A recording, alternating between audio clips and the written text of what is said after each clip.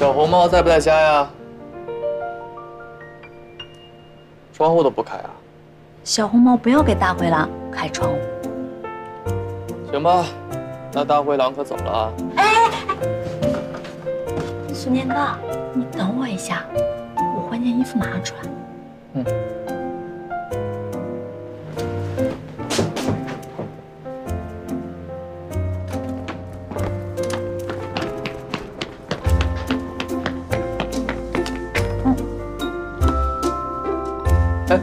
岳阿姨，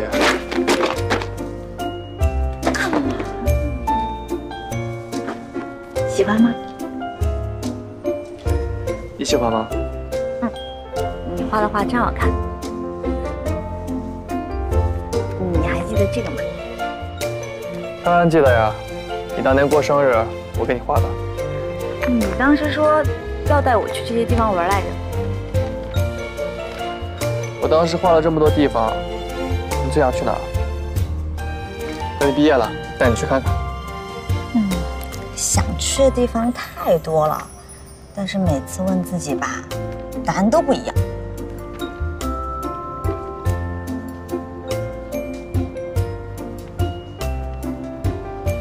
苏年哥，你还记得当初你送我这个的时候，我在准备那个二加一吗？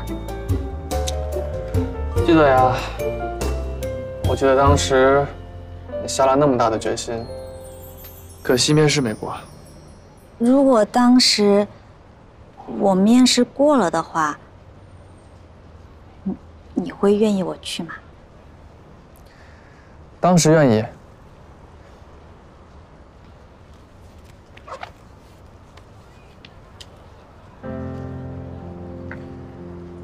现在不愿意。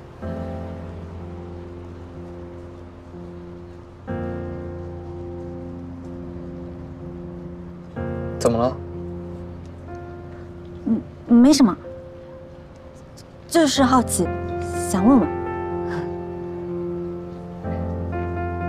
呃，已经好晚了，我明天的行李还没收拾，我们回去吧。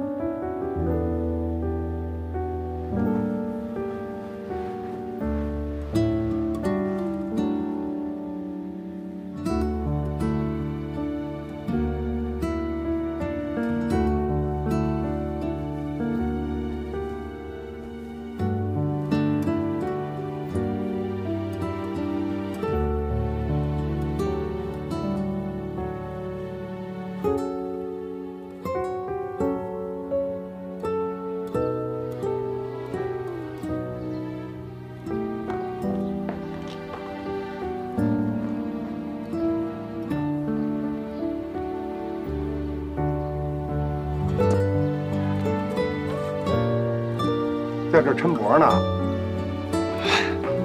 邵叔叔，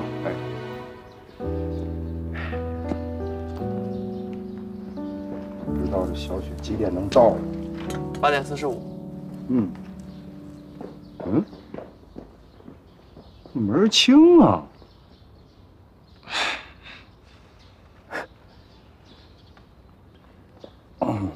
哎，邵叔叔，哎，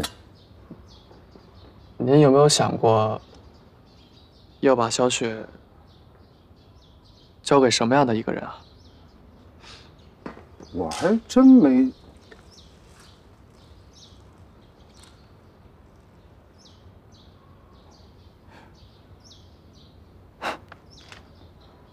我真没想过把她交给什么样的人，但我觉得呀，你这样的就挺好。真的？傻小子，我能拿自己亲闺女开玩笑吗？小郑师傅，哎，外边有人找。来了。那我先过去了。哎，快去吧。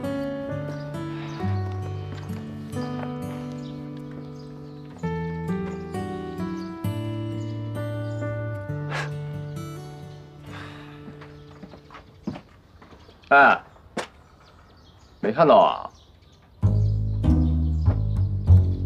你这什么表情啊？这是久别重逢该有的状态吗？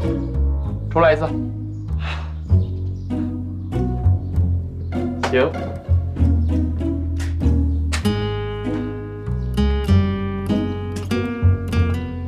哎，没看到啊？